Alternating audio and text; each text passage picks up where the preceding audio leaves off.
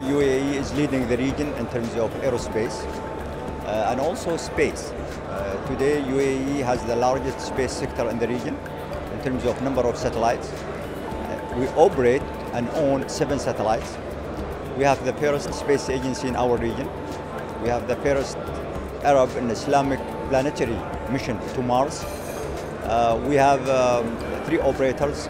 UAE has become a hub for space services, space events, space education, and space capability. UAE government has uh, identified space as part of our current and future. In fact, we are using space as a bridge to the future. Through space, we educate, we inspire, and we educate, and we train, and we retain our next fourth uh, generation of engineers. It Doesn't matter where they go. We inspire them through space. Then they can go anywhere. They can go to oil and gas, they can go to airlines, aerospace industry, or they can go to renewable energy. But we are using space as means to inspire, to elevate the expectation, uh, and also to position our country as a contributor to the world uh, bigger picture, if you like. We have probably the longest project on Earth. We have a 100-year project. We call it Mars 2117, which is 100 years from today.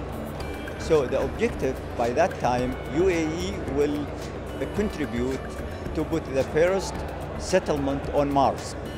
So that's a vision. We are using this project to educate, to network, to bring technology and knowledge to the country. Why?